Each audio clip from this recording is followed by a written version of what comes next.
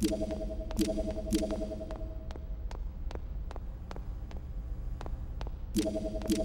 you.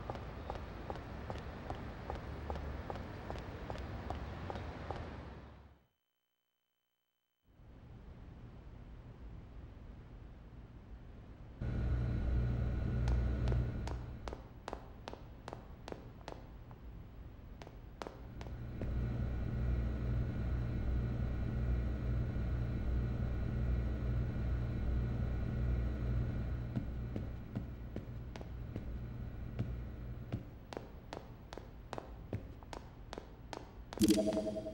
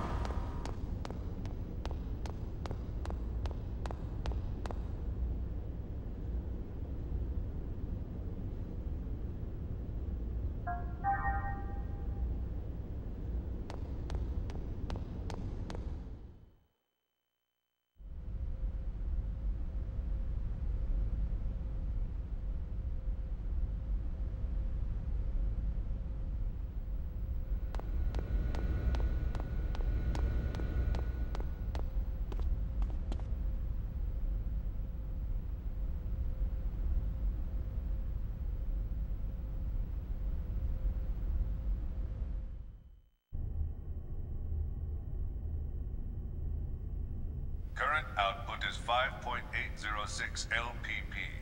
Not even 3% of the required levels. In other words, you're saying it's impossible to open the door to Lost Jerusalem. Open the door? It's doubtful whether we can even find it. I've told you repeatedly that the emulators were mere supplements. You're the one who ignored that. Because of you, we've lost a valuable asset. I've done what I can what we have, but it's not going to make much difference. Even Mizrahi couldn't pull this off without the original. So, have you finally come to acknowledge that lunatic's work? I'm just being objective. No one in the universe is as knowledgeable in this field as he was.